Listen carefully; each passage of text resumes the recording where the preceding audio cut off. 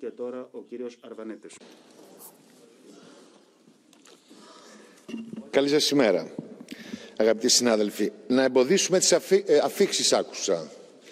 Μήπως να πεμπλακούμε από τις αιτίες όπου δημιουργούν το πρόβλημα; Εδώ και πέντε χρόνια εργαζόμαστε και τονίζαμε ότι αυτό το πακτ, αυτό το νέο σύμφωνο που μας φέρατε θα είναι το τέλος του δικαιώματος στο άσυλο, θα είναι τα φόπλακα της ευρωπαϊκής αλληλεγγύης, τα λέγαμε επιμείναμε και επιμένουμε ότι πρέπει να δούμε το θέμα της, ε, των νόμιμων οδών μετεγκατάστασης, των ε, ε, μετανάστευσης, συγγνώμη, να δούμε το θέμα της υποχρεωτικότητας στην μετεγκατάσταση μεταξύ των κρατών μελών. Τι ιδέα ήταν αυτή το εθελοντικό; Και να τώρα βλέπουμε τα θέματα της Γερμανίας και αύριο της Γαλλίας και μετατρέπεται ουσιαστικά τις χώρες υποδοχής σε στρατόπεδα της Ενωμένης Ευρώπης.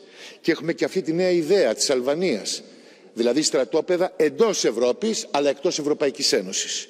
Ειλικρινά πιστεύετε ότι κλείνοντας τα μάτια στην πραγματικότητα, διώχνοντας όσο πιο μακριά γίνεται από τις χώρες σας, το πρόβλημα όπως το θεωρείτε, δημιουργώντας τέτοιες συνθήκες, λύνεται ή ουσιαστικά συμβάλλεται σε ένα τεράστιο ανθρωπιστικό πρόβλημα, σε μια τεράστια κρίση;